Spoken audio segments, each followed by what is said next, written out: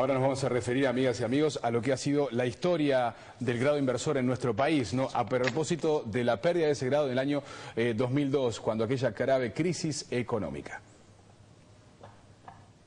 En el comunicado, Standard Poor's señala que la cautela en la gestión económica, el desarrollo del país, la diversificación de mercados, la inmejorable posición externa y un aterrizaje más suave para los vencimientos de su deuda externa, le confieren a Uruguay la categoría de grado inversor. Se destaca asimismo la estabilidad del sistema político para seguir dando apoyo a una combinación de políticas económicas que ponen al país en buena posición para los retos del futuro.